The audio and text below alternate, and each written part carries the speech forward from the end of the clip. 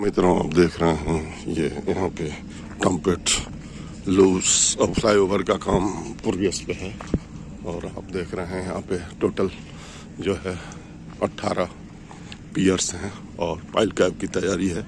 और इसको मार्च 2024 तक इसको तैयार कर देना है। और ये देखिए गर्डर हो गए हैं। पाँच गर्डर हो गए हैं छठवें गर्डर की तैयारी चल रही है।